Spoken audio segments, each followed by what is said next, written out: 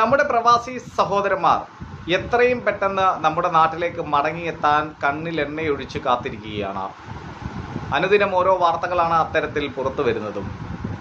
നമ്മുടെ രാജ്യം നൽകുന്ന സുരക്ഷ പ്രത്യേകിച്ച് നമ്മുടെ സംസ്ഥാനം നൽകുന്ന സുരക്ഷ എത്രത്തോളമാണെന്നറിയാൻ നമ്മൾ മറ്റൊരു കാര്യം കൂടി മനസ്സിലാക്കേണ്ടതുണ്ട്.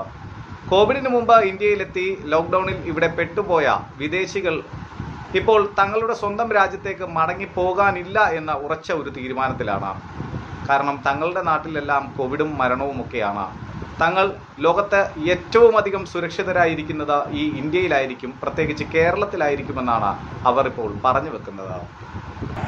തങ്ങളുടെ രാജ്യത്ത് കോവിഡ് കേസുകൾ അനുദിനം കൂടി വരുമ്പോൾ ഇന്ത്യ സന്ദർശനത്തിനെത്തി ഇവിടെ കുടുങ്ങിയ അമേരിക്കക്കാർക്കും ഓസ്ട്രേലിയക്കാർക്കുമെല്ലാം നാട്ടിലേക്ക് മടങ്ങാൻ ഇപ്പോൾ വലിയ മടിയാണ്. ഇക്കഴിഞ്ഞ ദിവസം വരെ നാനൂറ്റി നാൽപ്പത്തിനാല് ഓസ്ട്രേലിയക്കാരെ നാട്ടിലേക്ക് തിരിച്ചയച്ചെങ്കിലും ഒട്ടേറെ പേർ ഇപ്പോഴും ഇന്ത്യയിൽ തന്നെ തുടരുകയാണ്. കോവിഡ് വൈറസുകൾ ഏറ്റവും കൂടുതൽ ആളുകളെ കൊന്നൊടുക്കിയ അമേരിക്കയിലെ പൗരന്മാർക്കാണ് മടങ്ങാൻ തീരെ താല്പര്യമില്ലാത്തത് അമേരിക്കൻ സ്റ്റേറ്റ് ഡിപ്പാർട്ട്മെന്റ് ഇന്ത്യയിലുള്ള തങ്ങളുടെ പൗരന്മാർക്ക് മടങ്ങുവാനായി ഈ ആഴ്ച ആദ്യം ഒരു വിമാനം ഇട്ടിരുന്നു. വിദേശ രാജ്യങ്ങളിലുള്ള അൻപതിനായിരം പേരെ തിരിച്ച് നാട്ടിൽ എത്തിക്കുമെന്നാണ് ട്രംപ് പറഞ്ഞത്. എന്നാൽ ഒട്ടേറെ അമേരിക്കക്കാർ ഇപ്പോഴും ഇന്ത്യയിൽ തുടരുകയാണ്. ഈ ആദ്യം അമേരിക്കൻ സ്റ്റേറ്റ് ഡിപ്പാർട്ട്മെന്റ് ഉദ്യോഗസ്ഥർ ഇന്ത്യയിലുള്ള ആയിരക്കണക്കിന് അമേരിക്കൻ പൗരന്മാരെ വിളിച്ച് വിമാനത്തിൽ വരുന്ന കാര്യത്തിൽ താൽപ്പര്യം ആരാഞ്ഞിരുന്നു. എന്നാൽ ആഴ്ച അവസാനം വരെ എണ്ണൂറിലധികം പേരെ വിളിച്ചിട്ടും തിരികെ പോകാൻ സന്നദ്ധത അറിയിച്ചത് വെറും പത്തു പേർ മാത്രമാണ്.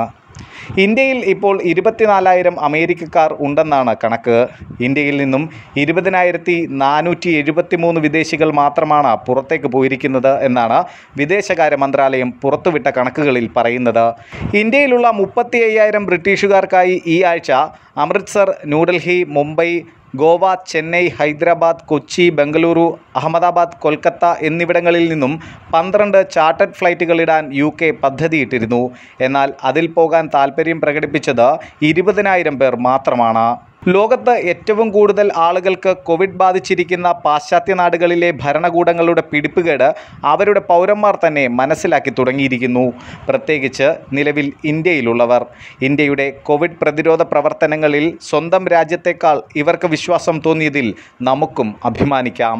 ന്യൂസ് ഡെസ്ക് തത്തുമൈ ന്യൂസ്.